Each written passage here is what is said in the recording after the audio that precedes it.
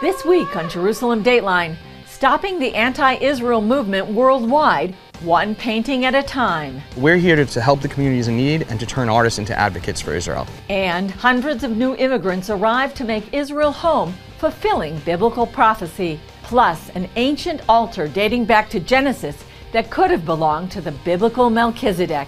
All this and more this week on Jerusalem Dateline.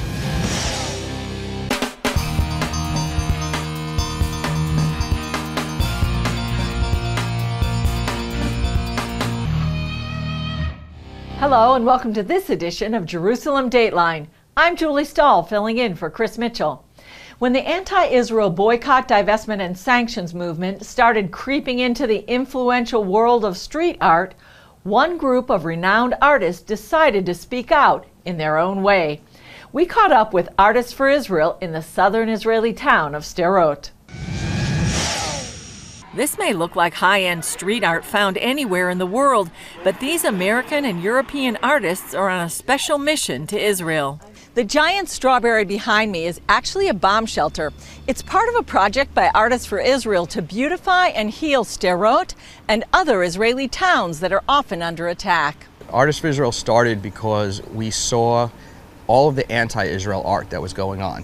We noticed that in popular culture, people were doing everything they could to demonize Israel, and that they were beginning to move into the young, progressive, urban contemporary arts category. Craig Dershowitz, co founder of Artists for Israel, said this group realized they needed to do something.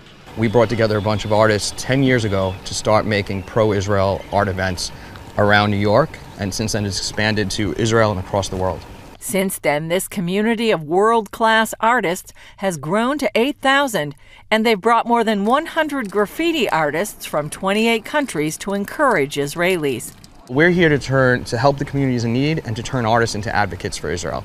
And no matter what I can tell them, no matter what history I can share, nothing turns them more into advocates than the people who come up and embrace them on the streets. This time, seven artists came to paint in Sderot, a city that's been in the path of thousands of rockets for over 10 years. This school is a school for special needs children. They've had a rocket fall like a few feet away from here and spray this building with shrapnel. You can see some of the shrapnel damage on the wall. I decided to paint them a big flower just to cover over that, just something beautiful. Juri is a Christian who prays over her art. I'm Japanese American, so this is a Japanese style flower that we do in Japan, and this is a peony. It represents bravery in battle in Japan. So I put that there, and whenever I put murals on the walls, I always pray on the walls that everybody inside would be protected. In this city of 28,000, each home contains a bomb shelter, plus more than 160 portable ones fill the street. Eric Scottness is painting one of them. It's such a beautiful place and the people are so beautiful, but then there's, there's this underlying fear that they live in all the time. I wanted to depict uh, King David just being in Israel and, and the heavy religious uh, aspect here. And I just thought it kind of fit on this wall, him looking up to the sky and the heavens.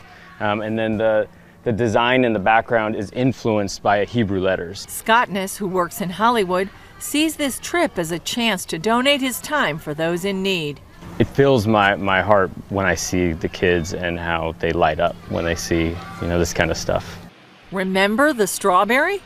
Taker One from Hungary painted that first. Now he's working on the cat. It's a bit difficult to imagine a place where sometimes rockets fall. The bomb shelters are weird, but it's a good thing that we get to make them a little colorful. So yeah, I think that's the main point of it, to make these buildings that have a negative connotation to have something positive to them. For people to come to a shelter, it's the mean is that they need to run uh, to go to some place to save their life. They need to hide in some place. So many times the, the children and the parents uh, look about the shelter like it's the you know, it's the dark, it's the dark part of the story. And when you come and you see a cat, you see a, a beautiful picture on the wall, it's uh, make the story a little better. Sderot Mayor Alon Davidi came to thank the artists and lend a hand. The story of Sderot, it's not a small story, it's a big story, and uh, you're part of our family. So thank you very much that you share with us. You stay here a few days. Dershowitz said he'd like to bring more artists to Israel. He's aiming to stop anti Israel sentiments in places that don't have an opinion before they take hold. Julie Stahl, CBN News, Sderot, Israel. The U.S. State Department is putting a spotlight on the plight of those facing religious persecution, with Secretary of State Mike Pompeo hosting a ministerial conference to advance religious freedom. President Trump heard from more than a dozen victims of religious persecution. CBN's Jenna Browder has that story from Washington. It was an extraordinary and moving scene in the Oval Office as President Trump listened to people from around the world who have been persecuted for their faith. I'm Esther from Nigeria. I do three years in Sambisa. I escaped from Boko Haram. This is Nadia, a Nobel Peace Prize winner. I'm from Iraq and uh, I'm, I cannot say my family is there in the jail because when ISIS attacked us, no one protect us. After 2003, we started to, to disappear from our area, from our homeland. Uh, when ISIS attacked us in 2014, they killed six of my brother. They killed my mom. The president even insisting he had time to hear more stories despite his schedule. I know the president has to get on, so I want to. Uh, I don't everybody. Mind. We, could, we could take a couple. Can you? Okay, good. My family are being persecuted in Iran. Um, Iranian people are with you. The majority of Iranian people. Explain what, what is happening in My parents are pastors. They're Christian pastors. They've been arrested. All my family, my father, my mother, and my brother. They are free on bail, awaiting their trial and long sentences. They've been invited, along with thousands of others, to tell their stories and take part in the Trump administration's initiative to protect and promote religious freedom. You have over 16 countries represented here. You have approximately 27 people, but I was in the room yesterday with thousands, and we had thousands that could not get in. So we thank you, President, for being the leader, um, the courageous leader to stand up not only in our nation, but countries all around for all faith of all people, that we should have the practice and the right to practice our religion. Pastor Paula White referring to the second ministerial on international religious freedom. The State Department says 80% of people worldwide live in a religiously restricted environment. All people from every place on the globe must be permitted to practice their faith openly in their homes, in their places of worship, in the public square, and believe what they want to believe. To hear more about the ministerial conference, CBN's chief political analyst David Brody sat down with Secretary of State Mike Pompeo.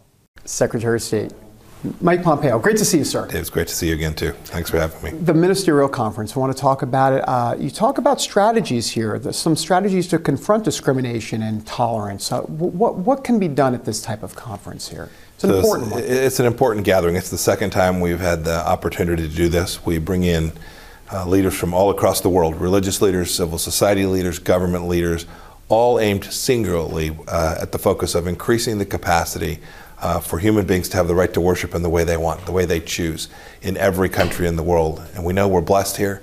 It's our first freedom enshrined in, in the U.S. Constitution, uh, but that's not the case everywhere.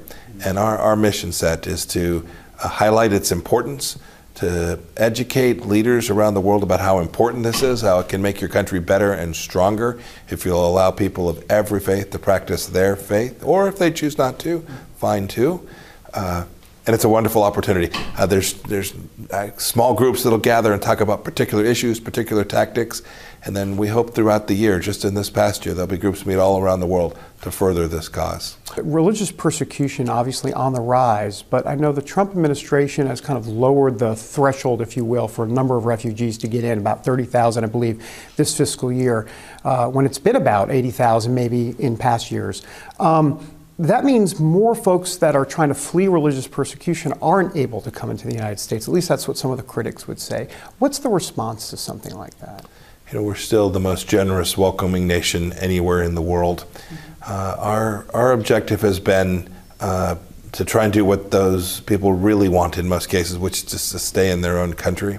So, our approach for Christians in the Middle East uh, and for other uh, people who are being religiously persecuted around the world, our, our mission set has been to try and create the conditions inside their own country so that they can have that religious freedom. There'll be no need to leave their country, their friends, their people, their church, their synagogue, their mosque, uh, all the things that they know and love and that their grandparents know and love. Uh, and that's our aim. It's one of the purposes of this ministerial this week. I want to ask you a little bit more broadly about foreign policy. I know Joe Biden has been critical. I know that's politics, but Joe Biden's been critical of this administration's foreign policy.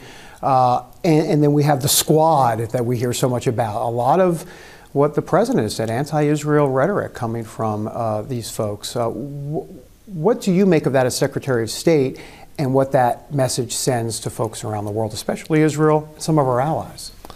Look, when a, a handful of members of Congress say things that are um, that are in the tone of the fact that they blame America for so much of the trouble in the world, that, that's deeply troubling. Uh, as I stare at the problem set, whether it's work that we're doing in the Middle East or work we're doing to uh, solve the problem of uh, HIV/AIDS in Africa, or the reconciliation effort that we're underway with in Afghanistan.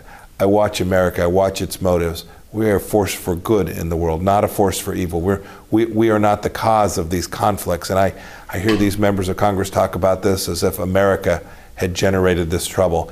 And to blame America first for these things is deeply inconsistent with uh, not only uh, our founding and our tradition, but with the facts on the ground. Coming up, new immigrants arrive to make Israel home, fulfilling biblical prophecy.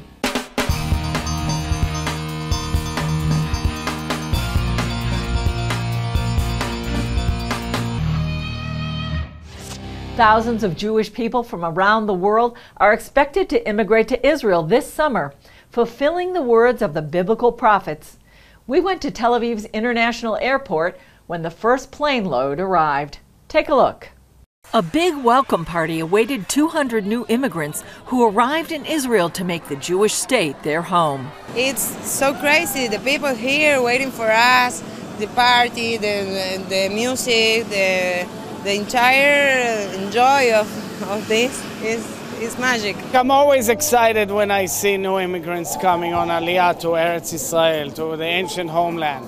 Isaac Herzog is chairman of the Jewish Agency, the organization responsible for Aliyah, or immigration to Israel. They're all here in one big event which epitomizes the great plight of the Jewish people in their return to their ancient homeland. These are the first arrivals on special flights this summer. They came from France, Russia, and Latin America. This year we'll have 30,000 immigrants from 40 countries. It's an incredible story. Among the newcomers are Brazilian and Argentinian singles. I'm an actress, so I want to try to work with that.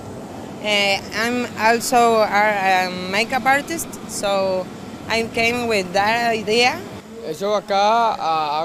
Here, I'm going to study Hebrew in Kibbutz Magan Michael, and then I'll be in the army for a year and a half. And then, like all Israelis, I will travel and then I'll return to study music in Jerusalem.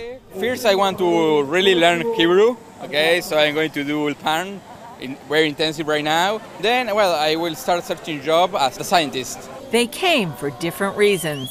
When I was little, I was living here with my family for for a while, like four months, and I fell in love with this country and the people and the culture. So I always want to come back here. The economic situation is really great. Okay, neighborhood countries are not the best things, but I don't have to worry when I walk through the streets really here. And I came to Israel because I'm a Zionist. I love Israel, and I'm hoping to make it my home. Abraham Shevelin from Ohio has been here for just one week. He came back to the airport to welcome the newcomers. I'm learning some Hebrew back in America. I'm good at lang- thankfully I'm very good at languages. I speak Chinese fluently. I plan on doing business with China and Israel. And if I can do Chinese, I can hopefully do Hebrew, right? Many would see their arrival as the fulfillment of God's word when he said he would regather Israel and plant them in their land. Up next, an archaeologist uncovers an ancient altar from the time of Genesis. Could it be where Melchizedek worshiped God?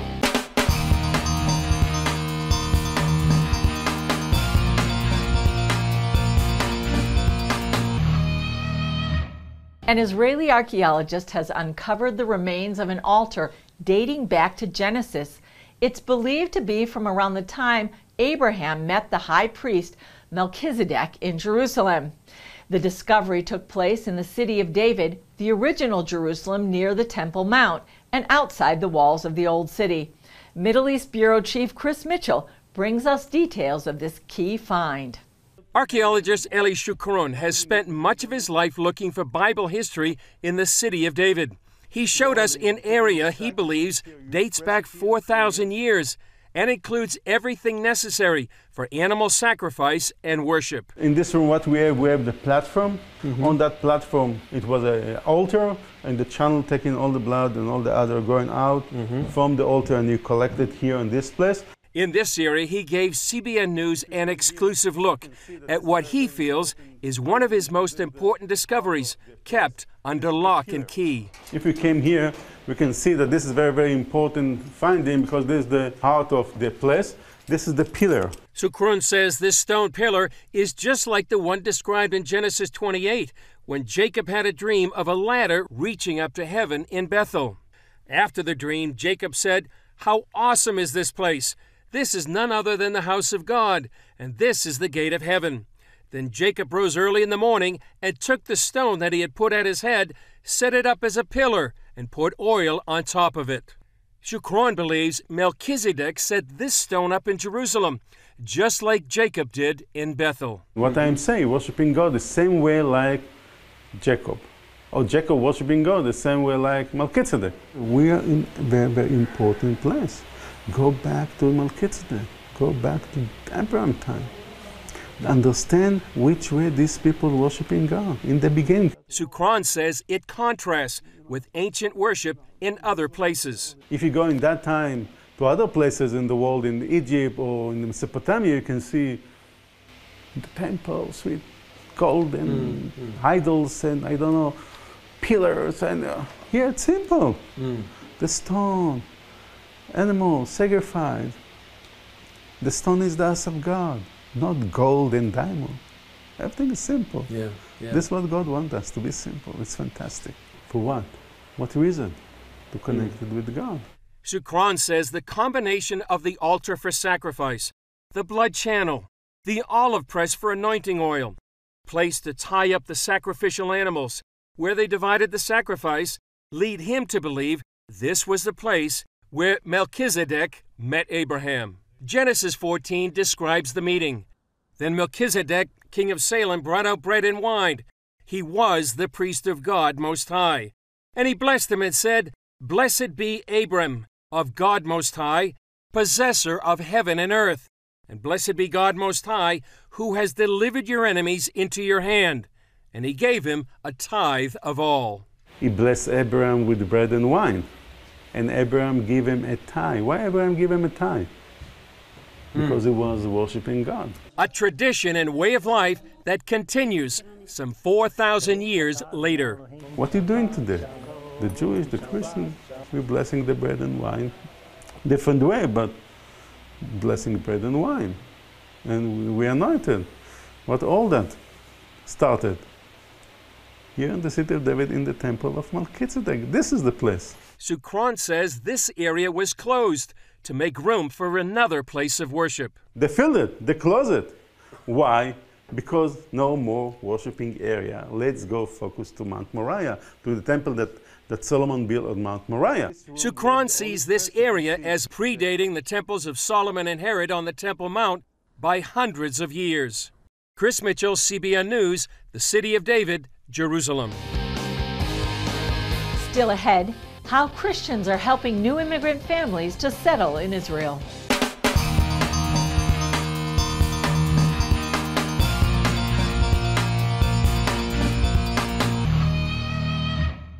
As we showed you earlier, it's exciting for Jewish people to return to the land and make Israel their home. But adjusting to life here isn't always easy. Here's a story about how CBN is helping new immigrants.